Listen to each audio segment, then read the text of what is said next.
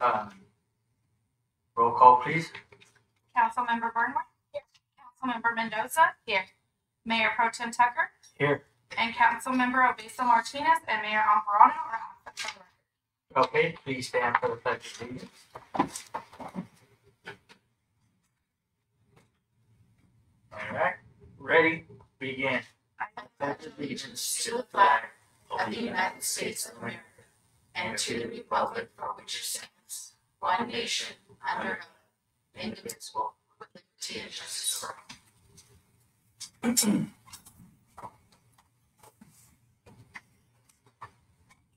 Um, adjustments to the agenda? There are no adjustments to the agenda at this time. Okay, um, city attorney reports on closed session action. Yes, council met in closed session, discussed one item of anticipated litigation. Direction was given to council. The council discussed uh, Superior Court Case ECU 003168, direction given to council. The council dis, discussed ECU 003274, direction was given to council. Also case ECU 003274, and direction was given to council. The council also discussed Areola versus City of Imperial, and direction was given to council. That concludes my report. All right, thank you. Um, public comment. There is a time of limit of three minutes for anyone wishing to address the city council on these matters. Matters not appearing on the agenda, if you wish to address the city council concerning any item within the city's jurisdiction, please raise your hand and be acknowledged by the mayor.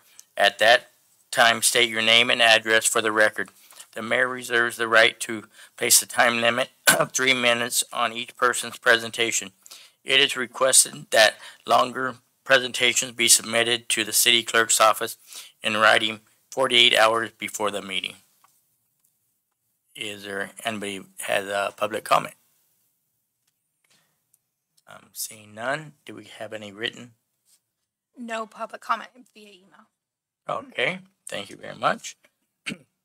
Next up is A, presentations. Um, proclamation, presentation for Breast Cancer Awareness Month.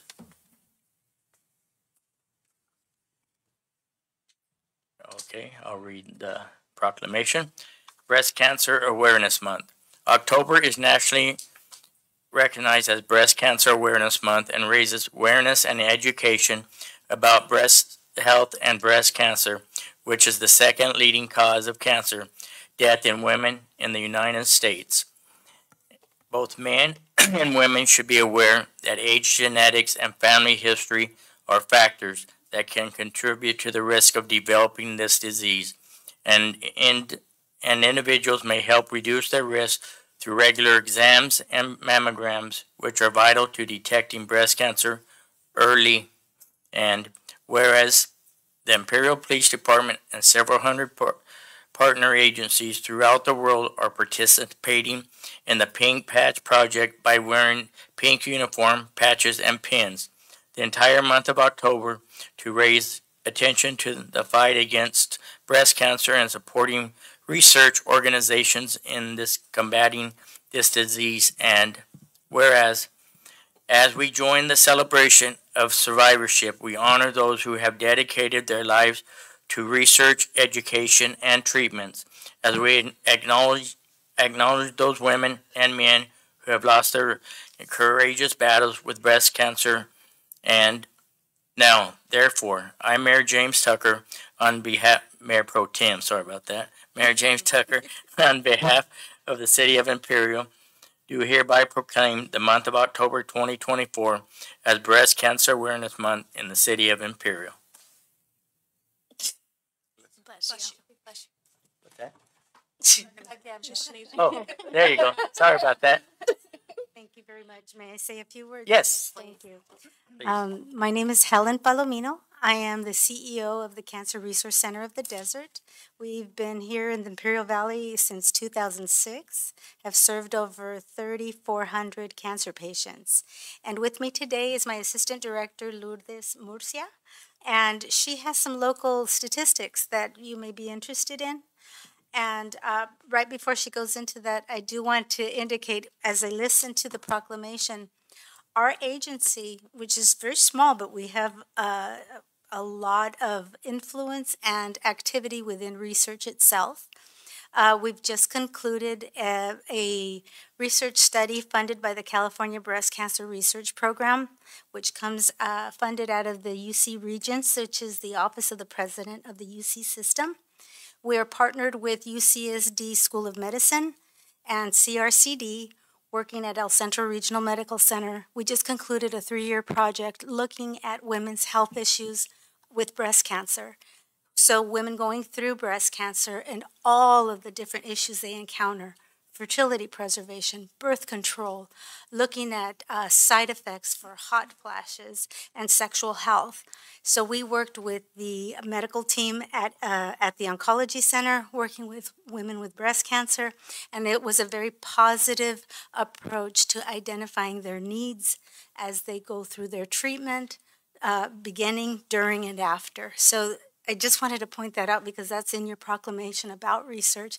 It's not about medication research, but it's social behavioral research that we're involved in, and that is happening here. And we've already been published once in the uh, Journal of, Cl- of Clinical Trials because of the protocols. So I just thought you should know. Lourdes, you can share our, our Hello, stats. everyone.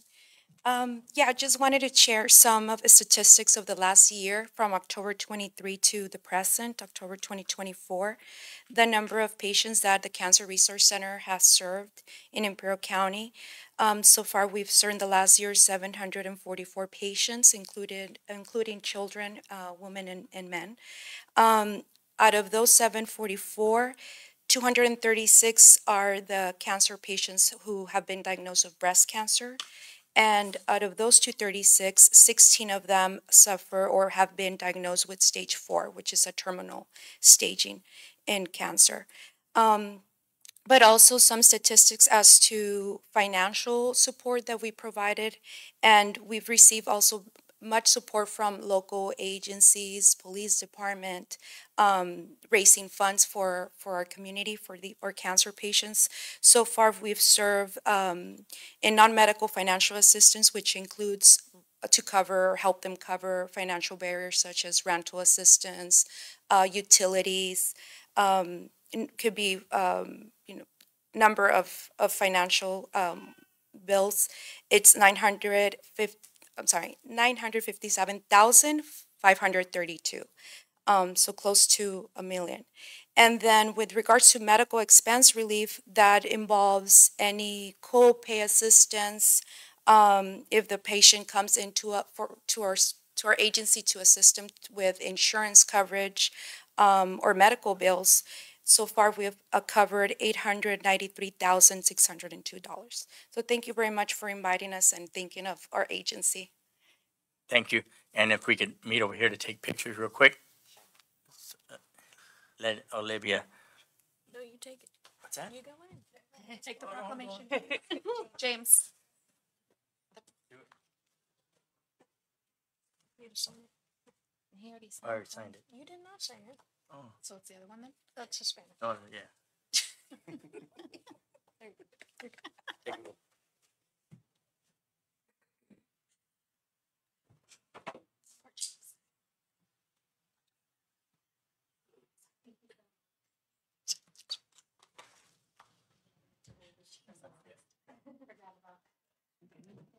Poor James.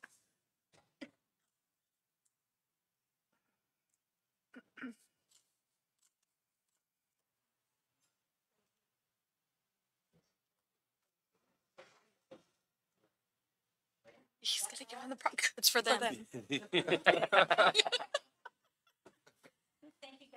I was wondering that.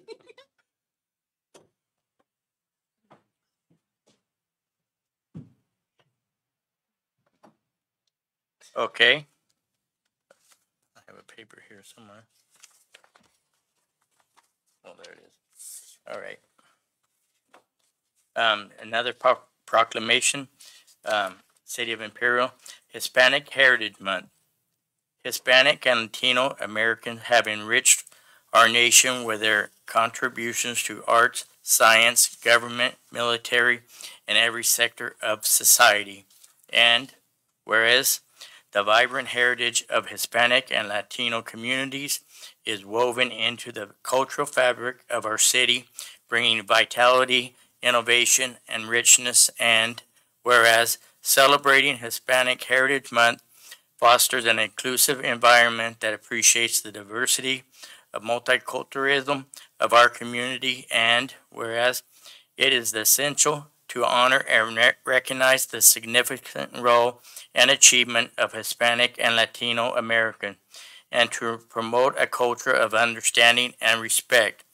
Now, therefore, I, Mayor Pro Tem James Tucker, on behalf of the City of City Council, do hereby proclaim September fifteenth to October fifteenth, twenty twenty-four as Hispanic Heritage Month in the City of Imperial. Um, passed and adopted the sixteenth day of October, twenty twenty-four, at a regular meeting of the city, Imperial City Council. And I'd like to welcome IVC Chicano Studies Instructor Miguel Chavez. Yes, Thank you, sir. A few words. Yes, sir. So I would just like to thank uh, the city council for recognizing the hard work that our students have been committed to. Um, From the beginning of the semester, we have been involved in organizing three major events. Um, One of our missions is to really uh, engage the community. We want to make sure that the community is aware of the resources that we have available to them on campus, as well as, you know, enriching the community with our culture and our heritage. So on behalf of my students and myself, we all, uh, sincerely thank you. Uh, we recognize this as a really high, as a high esteem, uh, recognition and we're, I'm, we are all really grateful for the recognition. All right, All thank right. you. Would you like to say something? I think that's a no. I've never been here. I didn't know what to expect, so I'm a bit underdressed.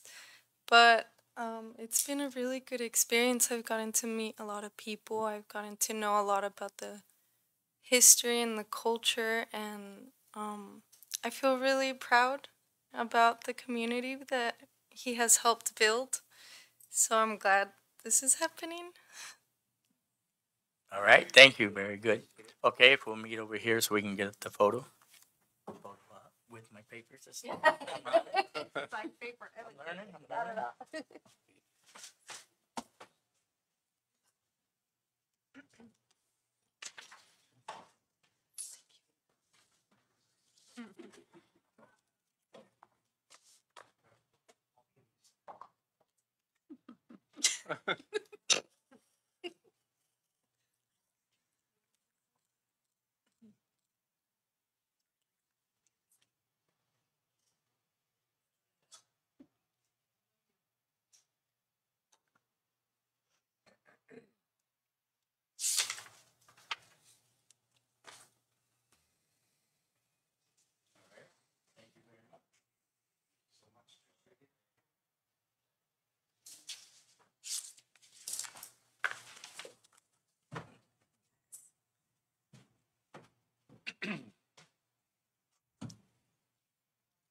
Okay. Next up is content, consent agenda. All items appearing under the consent agenda will be acted upon by the city council with one motion without discussion. Should any council member or other persons request that an item be considered separately, the item will then be taken up at the time as determined by the mayor. Make a motion to approve. Second? I got a motion and a second. Please vote. Motion carries three zero. All right, up next, C, action item, discussion, action, approve, disapprove. C one, operational agreement between Sure Helpline and the Imperial Police Department. Presenter, Aaron Reel. Thank you, Mayor Pro Tem Tucker and council. The, this is a renewal of an agreement that the police department has with the uh, Sure Helpline, who helps us with uh, victims assistance in violent crimes involving sexual assault. And then we're requesting that the MOU with Sure, Sure Helpline be renewed. I make a motion to approve. Second it. I got a motion and a second. Please vote. Motion carries three zero. All right, next up is, so that includes C one, C two, and C three as, as one? No, no. No? That was just C one. Okay, so C two, operational agreement between Woman Haven and the Imperial Police Department. So it's similar to the, the previous item. Uh, this is a renewal of an agreement, an MOU that we have with Woman Haven, who provides victim, victim services for crime victims and domestic violence victims and their children. We're requesting that the MOU, MOU be renewed. I'll make the motion to approve. Second. Got a motion and a second. Vote please.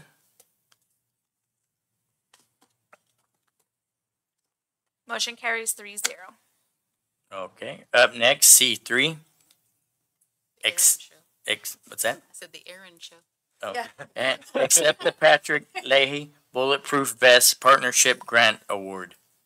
So this is a request for approval of the receiving of six thousand twelve dollar, twelve dollars and sixty-four cents for a bulletproof vest grant. It's a fifty percent reimbursement grant and we're using the previous COPS funding that was approved in May to cover the remaining fifty percent. So this is to offset some of those additional costs. And we are requesting the permission to receive the funds. How many bulletproof vests does this buy? Excuse me? How many vests does this buy?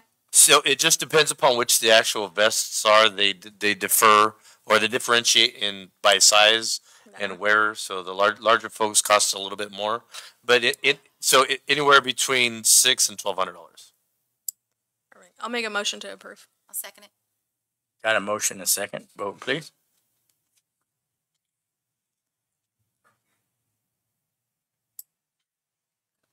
Motion carries three zero. Alrighty. Next up is D, reports. Uh, good evening, uh, Mr. Mayor and council members. Um, we are still working, uh, with two projects right now, which is Seventh, Tenth, and, uh, Fourteenth Street improvements. Uh, the Seventh Street rehabilitation project. So besides those two, we are about to start, uh, three more, which is the, uh, Highway eighty-six beautification. The contract is already fully executed. So we are about to start, pro- I would say probably in a couple of weeks, we'll have people doing actual work. Uh, we are going to, uh, uh, issue the notice to proceed for the STBG, um, eighteen rehabilitation project, which spans from Bilore up to all, uh, Highway eighty-six and the CMAQ eighteen, uh, Boulevard Class Two Bike Lane. Uh, that goes from, uh, Austin, uh, Austin Road up to, uh, Bilore Way. So basically, that area is going to be really modified for the benefit of the the community. So we anticipate to start actual construction uh, within three weeks. Because once we get all the contract documents fully executed, uh, it's ten days uh, to start construction, then mobilization. So expect delays for a little while. Alrighty, gonna see some streets improvement, so we'll be getting some calls about people not obeying the traffic laws. We'll pass them on to the chief for you. Appreciate you. Where are we at on the, the entry, the, ci- the city signs, the entry, for the entryways? Um, that is part, oh, Go ahead. oh, yeah, no, that, that is part of the, um, Highway eighty-six beautification. Then it's So, something- yeah, so basically, I, I'm not really involved in the final design. You, you work on the final design, right? Yeah, sorry. yeah, okay. Oh, no, the, yeah, we are working on that, but part of the delay was having the hotel fill in where the, uh, the canal was, so. Okay. We relocated the sign for where it was proposed to be to the, uh, west side of eighty-six. Anything else, Mr. Dale? Um, nothing much more to add other than, uh, our, the various roads projects is also started, uh, they started lowering utilities and, uh, we expect paving operations to probably start in about three weeks. Alrighty, so we are getting some street works done, so be patient with us and don't be honking at the people, please. Thank you. That's illegal. too. Yep. And Parks, I know we got an exciting weekend coming up. Yes, we do. Um, so we have our Fiesta de los Muertos event this Saturday, um, from five to nine in downtown Imperial. So we have a lot of fun features for the community that we're very excited about. We'll have live entertainment. We'll have our ofrenda, beer garden, um, family fun zone, um, a lot of fun stuff. So we really encourage the community to come out. And then next Friday, actually, we'll also be having our trunk or treat here at Eager Park. Um, so we encourage if you haven't already, you know, sign up your car and um, pass out some candies to some of the kids in our community. That'll be from 6 to 10 p.m. So, got a lot of fun events coming up. All right, thank you guys very much. IT, Um, only the the new IT technician three started uh, yesterday, Francisco Alvarez. So if you see him around, raise your all hand. right, so that's pretty much the report. all right, thank you very much. Chief, And so hopefully everybody had the opportunity to read the email that was sent out in reference to the police department survey. We're gonna run that from last week. Thank you, IT, for helping us out with that and kind of uh, championing the, the actual technological portion of it. And we're gonna be running that to the end of December. Hopefully the information will help the police department develop a strategy based upon public opinion, public concern, quality of life, and crime issues. all right, thank you. Fire, ready? Finance, Uh, nothing to report at this moment. Uh, Uh, I'll wait till next month. all right, appreciate it. Nothing City here. Attorney, I'm good. thank you very much. Ms. Mendoza, Nothing from me? City Clerk, No. all right, then I'll adjourn the meeting till November sixth, twenty twenty-four. Thank you, guys.